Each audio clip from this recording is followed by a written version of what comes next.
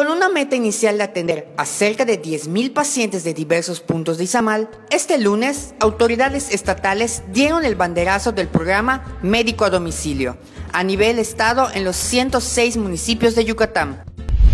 El día de hoy estamos empezando con algunas brigadas, lo estamos eh, dividiendo en las tres eh, regiones o secciones eh, sanitarias y cada brigada está integrada por un doctor, una enfermera, un nutriólogo, una trabajadora social y un trabajador de la salud, que van a estar empezando a hacer estas visitas. Decirles que no va a llegar el programa médico a domicilio a partir de hoy a todos los municipios.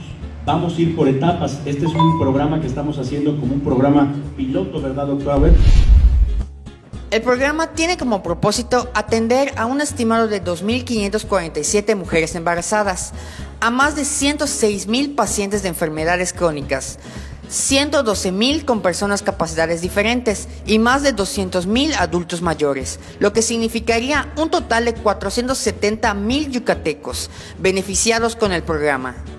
Presentó para Eclipse Televisión Kevin Castillo. Eclipse, Televisión Digital.